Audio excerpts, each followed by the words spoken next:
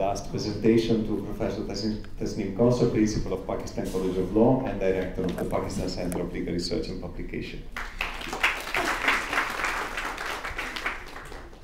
Thank you, Alessandro. Assalamu alaikum, everyone. Um, thank you so much. Symposium is not an exercise for faint-hearted, and uh, so many of you have been listening to different papers since morning, maintaining your concentration. I must congratulate you for being here.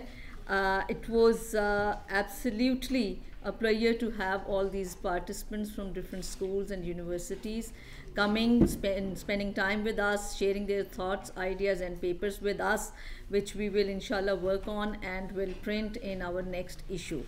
Uh, PCLRP and uh, Pakistan Law Review has uh, afforded us this opportunity to uh, identify the topics and uh, uh, of, uh, of interest and concern at the same time for us and to assemble and to maybe write about them and think about them and talk about them.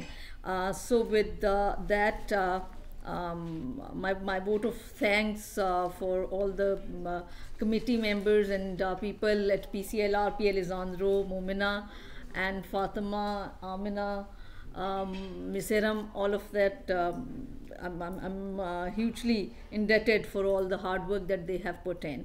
Um, uh, my moment of truth. The, the, the title of my paper, I'm so sorry I could not bring any, um, and, and paper is not the final one or the last one because it's very important. It was least prepared. so it was like pushed at the back. Uh, the, the title of the paper is uh, Dignity as a Non-Negotiable uh, Condition of Criminal Justice System.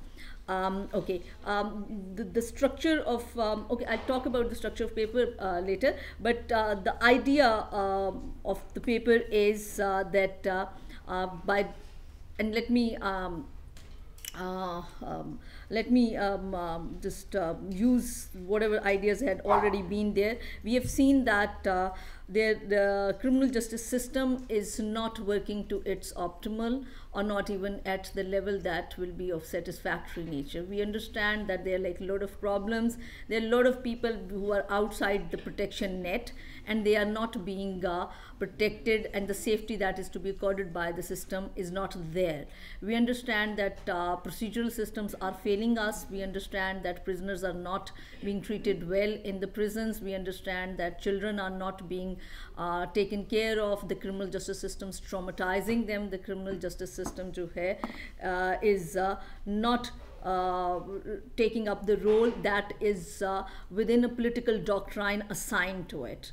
Um, if some of my first year law students are here, they would be familiar with the term that I sometimes use that it is your last line of defense.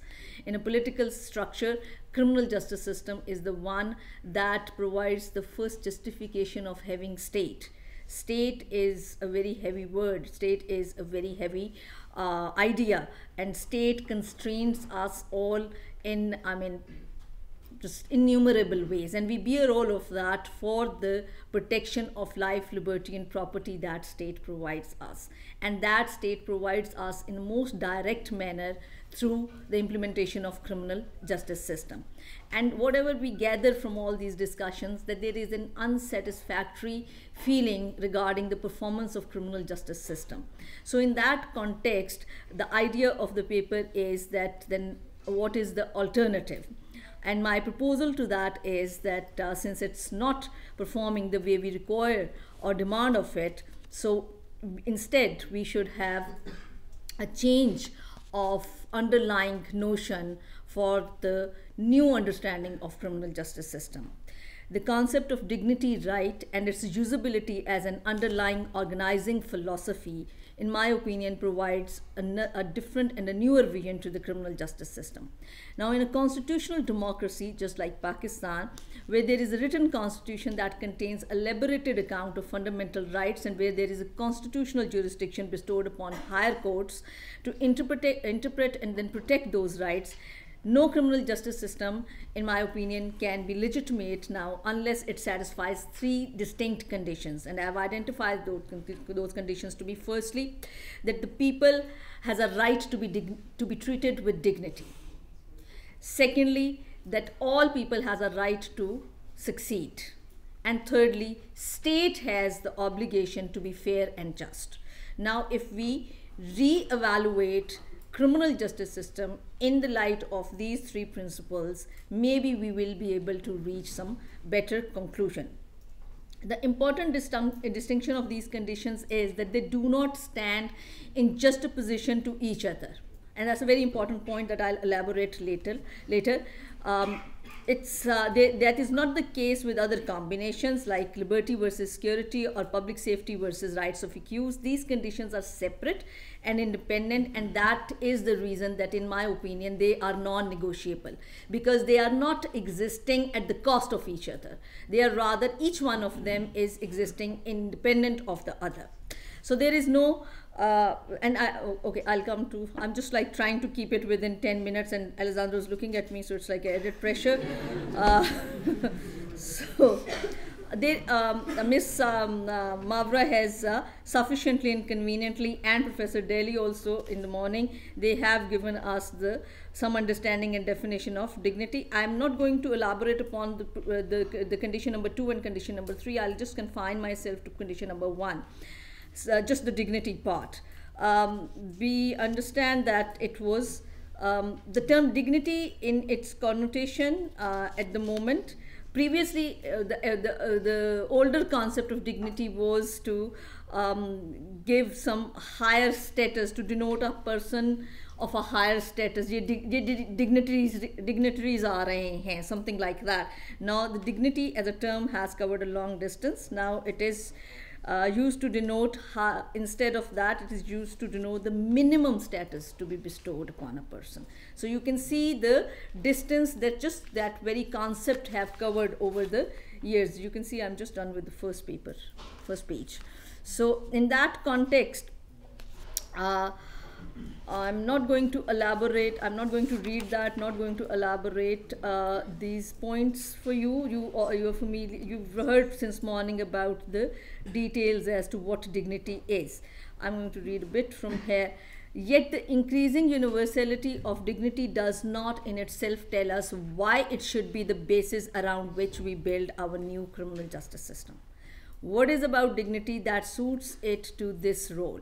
So we might start, and that's a bit of exercise involved in it. We can start by contrasting dignity with other rights that we conventionally argue in criminal justice system and uh, the, the, the right that I'm using just as of token is liberty.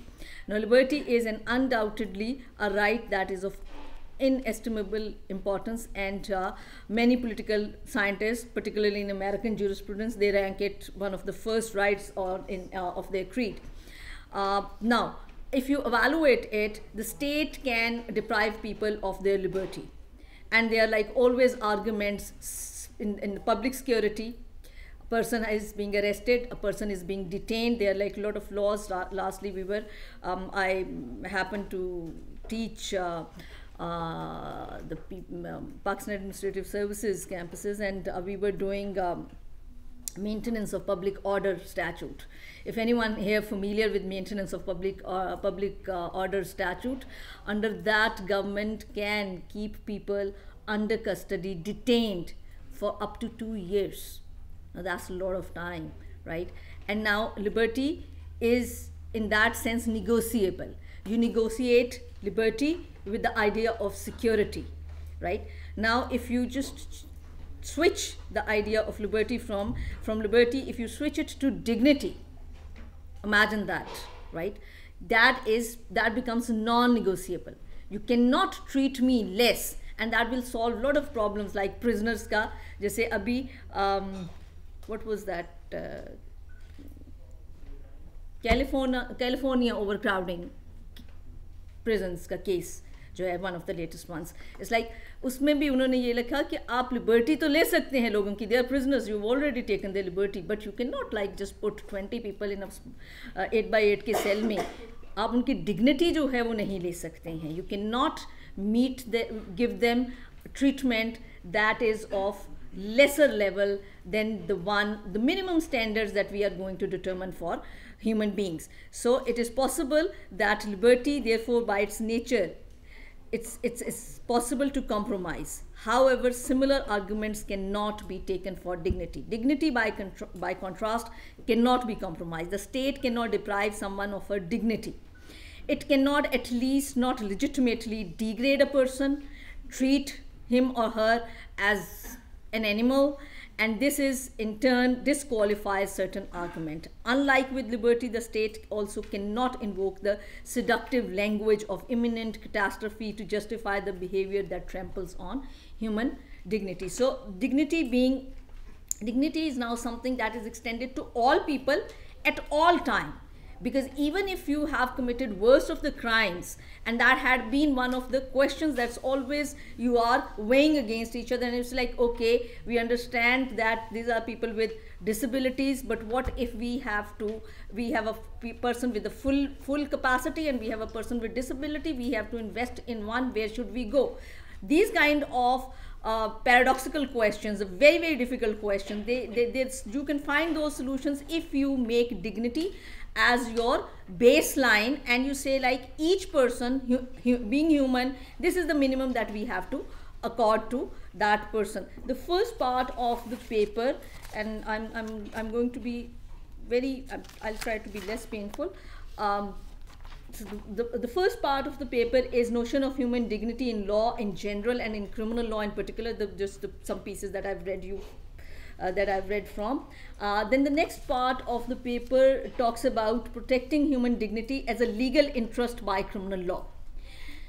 Now that's the part where I'm where I have uh, uh elaborated and discussed uh, different uh, implementations that will actually take place once you will take it as a baseline because you have substantive criminal law you have procedural criminal law and starting from that in the first place you have criminal justice system in a, as a whole. Now criminal justice system wants to put dignity as a baseline the criminal justice system ka focus badal jata hai theek hai? Each individual hai that each individual get recognition. Each individual hai uski uh, and the pink slip is here. Uh, so each individual जो है उसकी एक जो है एक recognition मौजूद है। अब अगर आप if you just conceive criminal justice system में इंडिविजुअल की क्या क्या पार्टिसिपेशन है how is individual interacting in the in the criminal justice system criminal justice system in in western context is very interesting because it is a public justice system which means to say if you are a victim and not a witness you can come to the court sit behind. You have no participation in the issue. You have no participation in the entire matter that's going on even if you are the one who has suffered most at the hand of the whatever violation in question. Once you place dignity there, you will be according better presentation representation to all participants of criminal justice system. They can be criminals they can be witnesses they can be victims of the situation which will essentially make you it will be a very Kantian postulate. I will, I mean, I haven't really completely written that part, but when I'll be writing, I'll put, I'll put the, uh, the, the, the, that Kantian evaluation of human, uh, the recognition of human person. Um, Professor Kant argues कि आपका किसी को सज़ा देना भी उसकी recognition है क्योंकि अगर आप उसको सज़ा नहीं दे रहे हैं तो आप उसको लेस देना ह्यूमन ट्रीटमेंट दे रहे हैं आप क्योंकि अगर आप दीवार में आप आ, या आपके ऊपर दीवार गिर जाए तो आप उस दीवार को कुछ नहीं कहते because it's an animate object and you don't care for that and you don't attribute any moral value to it right that is not the human case human being का ये केस नहीं है। अगर आप ह्यूमन बींग को जो है वो पार्टिसिपेंट नहीं समझते हैं तो that is treating that human being less than human person so आप वंस हम वो डिग्निटी को एज अ बेस लाइन लेते हैं तो हमारा पूरा फोकस जो है वो क्रिमिनल जस्टिस सिस्टम का जो है वो चेंज हो जाता है and you will then find better understanding of your किसास and दियत एंड इस्लामिक प्रिंसिपल्स ऑल्सो उनकी जो हमें अकोमोडेशन में डिफ़िकल्टी आती है वो मेनली इसलिए आती है because we in we we stay within the common law construct and that is not constructed around this fundamental right uh, the next part will then talk about the substantive laws and then जिस तरह हमने दिन में भी बातें की उसी तरह से we will like to uh, discuss uh, or I would like to elaborate upon the same points कि किस तरह कौन कौन से offenses जो हैं and बहुत सारी चीज़ें जो otherwise offenses नहीं हैं it has taken a lot of time um, uh, to to recognize some people as uh, the subjects, some people as possible offenders, and some people as possible victims Of the criminal justice system वो वाले problems जो हैं substantive law in that context जो है will be able to play its role better and procedural law के जो है वो variety of issues as far as उसकी jurisprudential layout is concern those issues will be much better taken care as compared to the previous जो हम uh, इसका structure draw करते हैं उसमें. Then um, the final portion that I intend to uh, write will be that um, the, the thin line between criminalization and over criminalization. Criminal law is a very harsh tool in the hands of state and declaring a person criminal is declaring that person an outlaw outside the protection and safety net and it when we say changing focus we also mean to say to, to instead of bringing focus to a crime control model, you shift the focus to a due process model. It's not all of us, we need to see it कि एक individual का क्या chance है अगर state उसके against हो जाए because हम स्टेट जो है criminal justice system is a public justice system right so जब स्टेट एक बंदे को पीछे प्रोसिक्यूट करने पर आ ही जाएगी जिस दिन स्टेट आ जाएगी तो how little the chance is so at the same time, we have to look at criminal justice system with a very uh, an, an absolute cautionary manner कि हम इसको जहाँ पर भी हम इसको ओवर क्रिमिनलाइज करेंगे we will constrain that criminal just uh, the dignity principle probably अगर हम वन बाय वन एनालिसिस की एक्सरसाइज में जाएं तो dignity principal probably will be the only one seriously propagating कि ओवर क्रिमिनलाइजेशन नहीं होनी चाहिए because you will be jeopardizing people's dignity by restraining them too much and unnecessarily and for everything right too much criminal law is also equally bad right so uh, these are some thoughts on what i have put together and in, hopefully inshallah if alessandro will approve it, you will read it in PLR also. Thank you very much. I'm sure we are very close to approval already. We heard everyone clapping. Thank you, Alessandro. No, like uh, I would, I would like to open up the question and answer session. I'm sure there are uh, some very important points that have been raised. So if anyone from the audience would like to ask a question from the authors.